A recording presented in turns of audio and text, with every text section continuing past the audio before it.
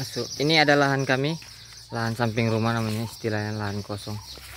Yuk, kita mau cari mamaku mamaku di mana? Lagi ngapain ini?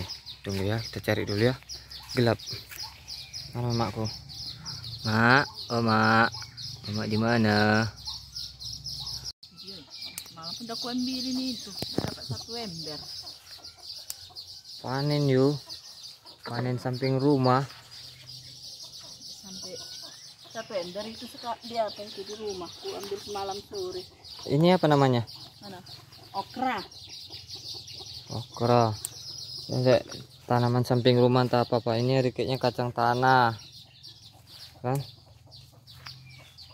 selain itu ini okra juga okra banyak kacang panjang itu ada rambutan punya tetangga Ambil apa itu? Jagungnya itu lah. kelapa ini kacang panjang juga tapi masih baru Ya. hidup. Hah? Cipir. kecipir. Oh ini pohon kecipir. Okra yang banyak. Cabai-cabai. Nah. Nanti ku lanjutkan lagi di samping. Inilah kok di kampung. Semua mau ditanamin tapi ini apa nih? Rias. Longkoas. Jahe. Longkoas pohon jagung. Makan-makan sendiri aja semua. Jagung ini ini jagung Hawaii ya bukan jagung kampung biasa. Jadi memang enak direbus nanti nih. Terong yang banyakan di bawah.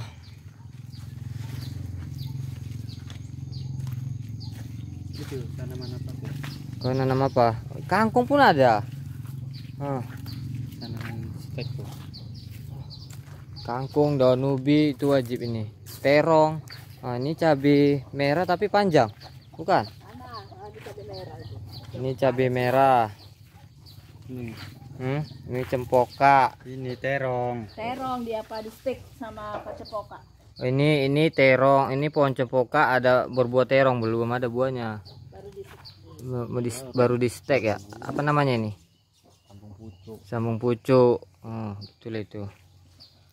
Pohon cepoka ini kacang panjangnya tadi udah tua tapi udah habis masanya ya seperti ini hanya oh ini asam Hah? tak apa apa aja lah ini dimanfaatkan lah semua ini serinya Hah? Ini, ini ayam. Kok ayamnya galak ya? Ini pohon ada yang tahu ini jenis jeruk apa? Asam apa ini? Nah. Ini asam ya. Sini banyak burungnya. Dan itu kelapa nggak pernah jelas di depan rumah. Apa? Nanas, nanas ada juga. Ada nanasnya juga katanya. Ah, uh, ini nanas. Aku udah lama nggak pulang kemari ya, sekitar empat bulan akibat lockdown. Lihat-lihat di sini udah banyak buah-buahan. udah mulai tua Ini, oh tunggu, ini udah mulai kuning dia. ini Ini belum masak. ini Nah, ini masak. Ini nanas yang ada durinya. batu nanas batu dan nanas apa lah nah ini manis tapi ini berongga dia di dalamnya ah ini bau aroma aroma sayur batak ini ada yang tahu nih. Ini daun. Kalau di sini namanya apa mak? Bangun bangun. Bangun. nama Indonesianya? Ya nama Indonesianya apa ini? Ini ini untuk ayam kayak model masaknya seperti daun ubi. Hmm. Ini orang batak untuk orang ba- baru melahirkan. nah untuk orang melahirkan inilah obatnya. Kotor-kotor bersihkan darah oh itu ada pari juga? Oh itu pari hutan nggak dimakan.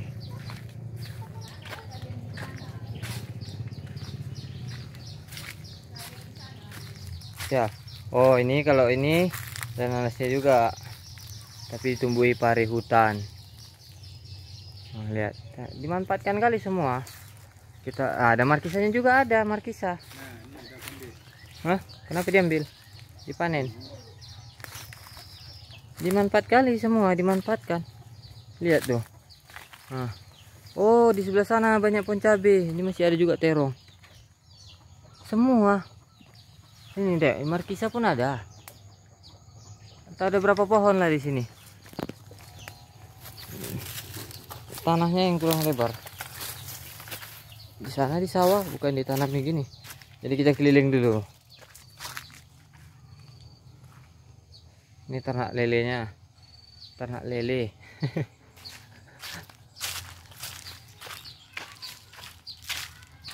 Kalau di depan rumah biasalah. Daerah perkebunan. Tadi pada bunga-bunganya. Saya sirsa lagi hasil pisangnya. Pohonnya nggak nampak pisangnya nampak. Di sawah ke sini biar dibawa ke Medan. Ya di sawah juga banyak pohon pisang. Nanti di sawah di review lagi. Ini dia panen pisang. Ini si Richard lagi panen pisang. Hasilnya mau dibawa. Ini ada lagi. Ini selain pisang apa lagi? Oh kelapa juga ada. Inilah ya kan. Jarang pulang pulang sekali langsung bawa semua barang.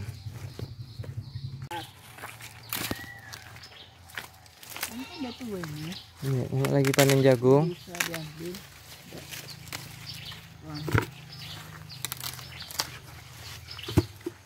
Yang dihabisin.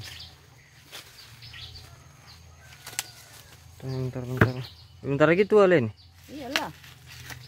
Oh ini nggak bisa untuk apa di di yang tuanya untuk di apa ayam gitu nggak Kak, ini kan memang jagung manis, jagung di, untuk direbus. oh khusus direbus ya bukan untuk Ah, namanya jagung manis, jagung Hawaii. bukan untuk pakan ayam ya? Bukan, itu jagung biasa, pioner itu. nggak tahu. Hmm, panen. Panen jagung. Seadanya. Ini pohon sawit bibit. Bibit sawit bibit sawit. Ini pohon serai pohon tebu. Ini tempat kalau mau mancing-mancing ikan lele. Tapi nggak ada deh ini bersih airnya kok jernih. Jernih kali pun airnya. Cuma kotor cabang-cabang kalau airnya sih. Nah ini. Nah, ini ada jenis cabai ini lagi. Ini cabai apa yang bulat-bulat cabai rawit besar-besar. Kangkung tengoknya. Bekangkung pun di sini bisa dipanen ini. Tapi bukan kangkung bukan kangkung akar ini atau kangkung apa? Kangkung akar saking saking berakarnya gini lah berkembang biak dia ambil panjang kali. Daun ubi ya biasalah seperti biasa. Ini yang mau nyayur eh, apa? Bunga kates jantan. Tuh yang mau dijadikan pecal-pecal mau hmm. Entah apa kali ya? Padat kali ini. Pisang. Eh ini cabenya kayak gitu lagi cabai besar. Ya saya memutusin batang pohon pepaya. Nggak apa-apa masih banyak stok pohonnya. Daun ubi Hah? cabenya kayak gini semua ya? Cabai apa ini? Bulat-bulat besar juga ini kan lumayan kan? Ukurannya kan? Eh se lebih besar pun daripada jariku. Hmm. daun ubi kangkung. Ini oh beda. Itu warna putih. Itu itu warna putih. Ya kan? Eh, ini putih. Yang ini yang hijaunya. Ini ini hijau. Ini hijau. Ah ini hijau. Ah. Hijau. Ah ini bagian cabai merah. Ini cabai merah cabai rawit cabai rawit cabai merah. Cabai merah ini. Ini cabai merahnya untuk mau dipanen ini belum? Waduh banyak lagi sampai di kandang kambing sana. Sama markisa kates pepaya. Di sana eh, perkebunan sawit. Baru ditanam lagi kembali. Ya itulah. Sekitar segitulah untuk pemanfaatan wilayah yang hanya sekitar satu rantai lebih nih. Atau satu satu setengah lah. Tak berapa pohon. Aku aja bingung. Dari sini bisa jalannya. Hmm, aku terjebak. Oke. Jadi itu ya semuanya ya. Nah inilah kampung halaman. Ini daerah Kabupaten Simalungun. Nanti saya kasih tahu kampungnya nggak tahu kalian daerah-daerah Simalungun lah. Intinya memanfaatkan apa yang ada. Oke bye bye terima kasih sudah melihat yang video yang kurang bermanfaat ini. Tapi ada yang bermanfaat bagi yang punya lahan. Ya ini terong-terongnya tadi. Terong. Udahlah semua ya. Sampai jumpa lagi. Bye bye